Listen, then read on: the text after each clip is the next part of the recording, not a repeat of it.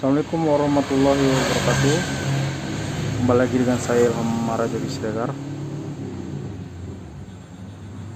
Hari ini kita sedang menggunting seng Untuk keperluan membungkus atau menghindari dari hama landak maupun babi Untuk tanaman kelapa sawit. Yuk saksikan videonya